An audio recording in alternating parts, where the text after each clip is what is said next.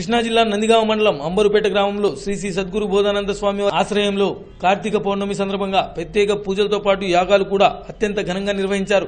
తెల్లవారుజాము నుండే భక్తులు విరివిరిగా పాల్గొని కార్తీక పౌర్ణమి సందర్భంగా ప్రత్యేక పూజలు నిర్వహించారు. నామస్మరణంతో ఆలయ ప్రాంగణం మొత్తం మార్మోగిపోయింది. ఈ ఆలయానికి విచ్చేసిన రామకృష్ణానంద స్వామి మాట్లాడారు. హిందూ సాంప్రదాయంలో కార్తీక పౌర్ణమికి అత్యంత విశిష్టత ఉన్నదన్నారు. శివన్ నామస్మరణం చేసిన ప్రతి ఒక్కరికి సుఖశాంతులు కలుగుతాయని ప్రతి ఒక్కరు తమ జీవితాలు సుఖమయం చేసుకోవాలని ఆకాంక్షించారు. ఆశ్రమ సిబ్బంది భక్తులు సౌకర్యార్థం పెద్ద ఎత్తున అన్నదానం నిర్వహించారు.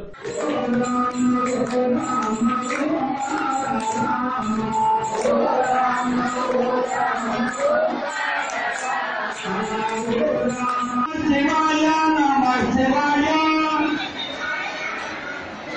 నమ శివాయ నమ శివాయ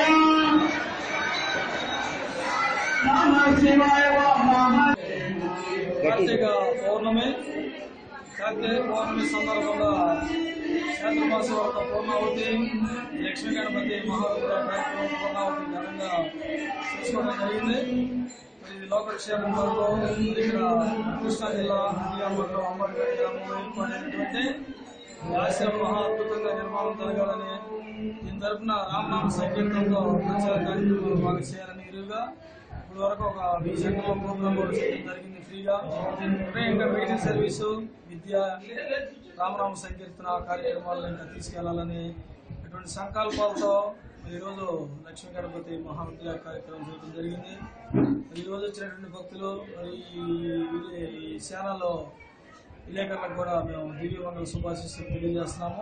ఆశ్రమం వచ్చినటువంటి భక్తులందరూ కూడా ఈరోజు కార్యక్రమంలో పాల్గొన్నటువంటి భక్తులందరికీ శివనామ సంకీర్తన ఘనంగా చేసినందుకు భక్తులందరూ కూడా దివ్యమంగళ శుభాశిస్సులు తెలియజేస్తున్నాము జై శ్రీరామ్ జై జై శ్రీరామ్.